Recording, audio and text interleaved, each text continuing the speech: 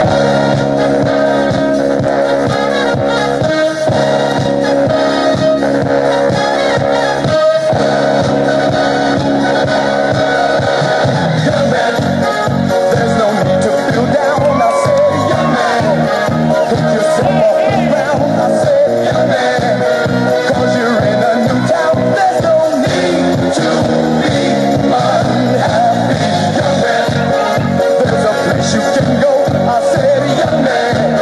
When you're short on your dough